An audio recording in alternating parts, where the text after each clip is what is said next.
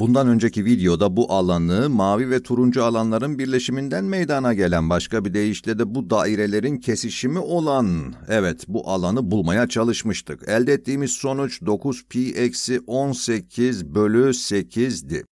Bu videoda sizlere aynı çözümü hesap makinesiyle nasıl yapabileceğimi göstereceğim. Evet, hesap makinesi bu belirli integrali bizim için hesaplayabilir. Hadi bakalım. Şu an yapmakta olduğum şeyi kartezyen koordinatlar, dikdörtgensel koordinatlar ya da polar koordinatlar içinde yapabilirsiniz çünkü önemli olan belirli integralin sonucunu bulmak.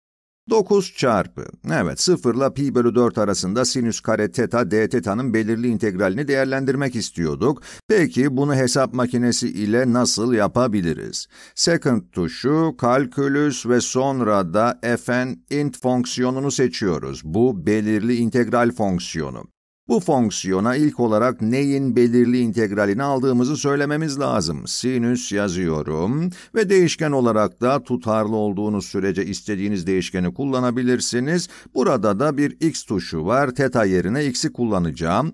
Sinüs x kare, sinüs teta kare yerine sinüs x kare yazdım. Bundan sonra integrali hangi değişkene göre aldığımızı söylememiz lazım ve bu değişken de şu anda x. Eğer x yerine teta yazdıysanız bunun yerine de teta yazmalısınız. Sonra da integralin sınır değerlerini belirleyeceğiz. Bunun için radyan modunda olduğumuzdan da emin olmalıyız. Burada söz konusu olan radyan olduğu için böyle yapıyorum. Yoksa her zaman radyan olmasına gerek yok.